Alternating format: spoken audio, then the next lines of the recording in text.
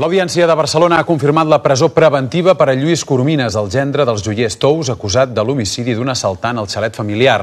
D'aquesta manera, els magistrats han desestimat el recurs presentat per l'advocat de Coromines, empresonat des de mitjans de desembre. Consideren que hi ha un perill de fuga evident, donades les elevades penes a què es pot enfrontar en el judici. De tota manera, la decisió judicial no ha estat unànime. Un dels tres magistrats era partidari de deixar en llibertat provisional el gendre dels Tous sota pagament d'una fiança.